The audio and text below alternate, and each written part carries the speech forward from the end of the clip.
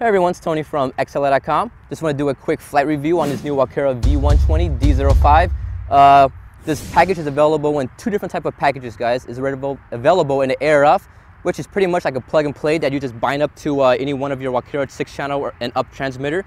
And it's also available in a ready to fly package that comes with the 26, I believe, 03 uh, transmitter.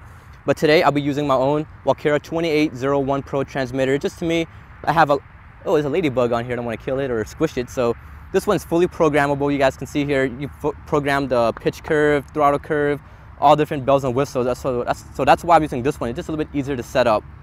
Where's the ladybug? All right, it's off. Don't want to squish it. so a little bit more about this uh, helicopter. It's very similar to the V120 series, except the D05 now is a belt-driven setup.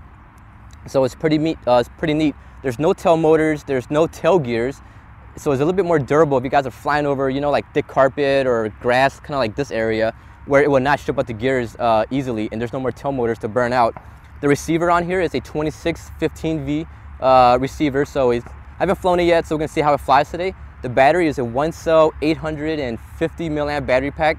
It's a flybarless, as you guys can see here, so we're gonna see how it flies. So let me get the transmitter turned on, plug in the batteries, and show you guys what this uh, helicopter from Walkera can do.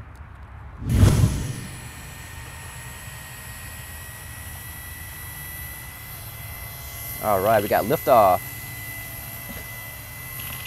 Small little helicopter. It's drifting back a little bit, so I'll probably have to play with the linkages a tad bit more.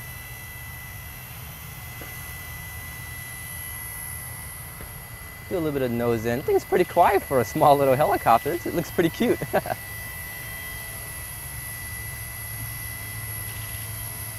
guys can see here, it's pretty stable.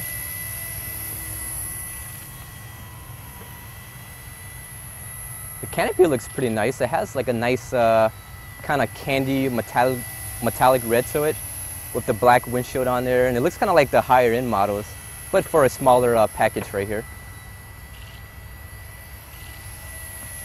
Let me bring it on down because you guys are getting me or getting bored of me just hovering it. So, and plus the wind's picking up, so I want to keep it down a little bit. Let's put into idle up mode. I have idle one and two. We put in idle up two just to get the head speed higher. For a small helicopter, it's not too strong on the climb out, but it's pretty, it should be decent enough for a small helicopter. And I think the gyros are kicking in a tad bit. So I have the gains a little too high in the flybarless unit. So let me uh, bring a little higher and flip it over.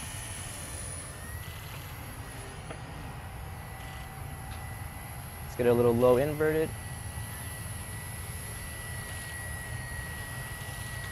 The wind's picking up, so I don't want to go too low now and have the, the wind kind of suck it down.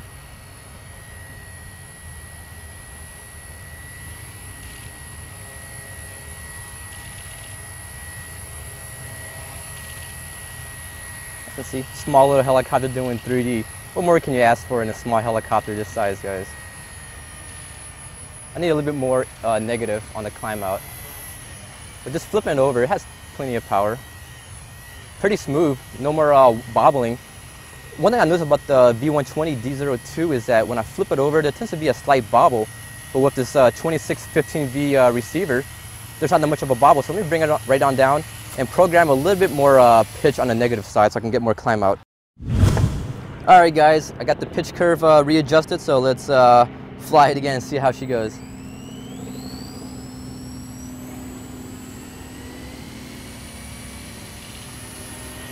Whew. Almost had the tail stuck in the, the little tall grass right there. A little bit more pitch. All right.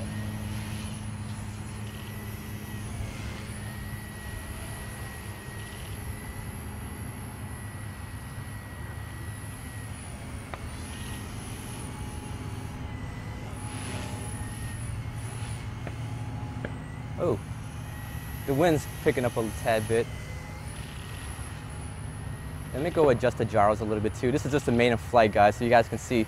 I haven't even really messed with this helicopter much, not even get the first flight. So let me get the gyros adjusted a tad bit more to make it a little bit more stable for you guys. So we land it and make some more adjustments so you guys are getting the actual first flight out of the box. Get my little handy wrench right over here. Nice cutouts up front, so it's uh, very easy to make adjustments. Nothing too bad. Get the gains up a tad bit, turn both the elevator and the aileron. Let me turn the balance delay down a little bit. It's kind of kicking in a little too early.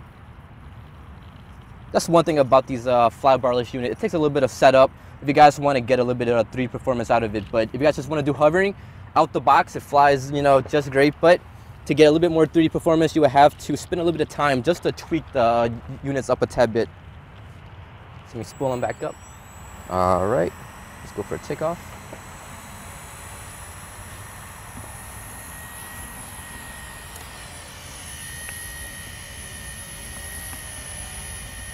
Make sure there's no bobble. Eh, maybe a tad bit. I can. Oh.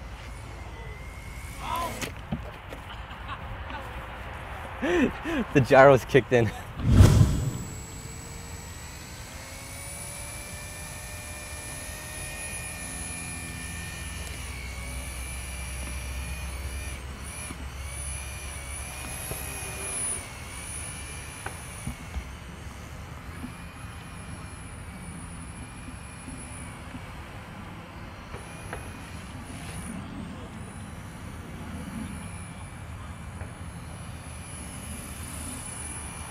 get some circuits.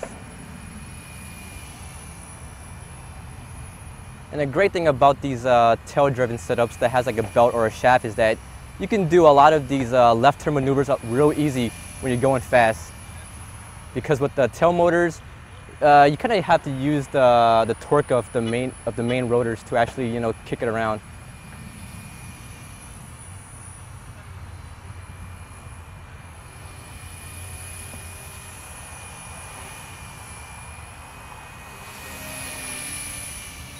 All right, let me land this helicopter over here.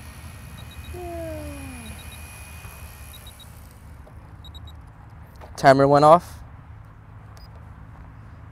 Unplug it just to be safe. All right, you guys just saw the flight footage of this uh, Walkera V120 D05 from Walkera. It had a few crashes, but you guys can see I just picked it right up, fly it again, so that's how durable it is. The blades are made out of very lightweight foam with a carbon spar on there, so you guys can see no marks. So that's the advantage of flying at a grass field and with a helicopter this light. Very little minimal damage, but I just picked it back up and fly it again. The flybarless unit does take a little bit of uh, adjustments. Uh, the first crash, I had the gains too high. So when I tried to flip it over, it didn't want to let the helicopter flip over. So it kind of corrected itself and just like, kind of like this. So I panicked, lost control of it, crashed it, picked it back up, turned the gains down and flew it some more. Uh, this helicopter does like the gains a little bit lower. I would say uh, on the on the pot right over here, on the 2615V right here, just turn down the gains a little bit below the 50% mark and adjust the balance just a little bit higher, kind of like more towards the positive side. And I crank the, uh, the extent, the EXT for the aileron and elevator almost fully max and then that's how it should fly. It flies a lot better with the gains turned down, the balance a little bit higher, and uh, EXT, uh, the extent pot, just make it a little bit uh, just crank it all the way to get more servo movement and that makes everything nice and crisp. Uh, good, this has a good amount of power on the 1200 or 12,000 kV motor on here. I think it's 12,000, it's a little high, but it says 12,000, so I'll go with 12,000. Um, the pitch was a little low, so I went up, or so I went back and I adjusted the pitch a little bit more. Uh, these blades are a little small, so it's kind of hard for me to measure the pitch, so I pretty much went by just uh, kind of experience and just kind of eyeballing it and making sure I have enough pitch, and that's, and that's what I went by. And after the first flight, you know, keep everything nice and high, play around with it, just a safe distance. So you, you, you always want to keep at least three, four mistakes high when you first when you're doing your first maiden flight, like I did earlier. So you guys just saw the flight review of this Walkera V120 D05. So thanks for watching, guys, and stay tuned for some more flight videos coming up very soon, guys.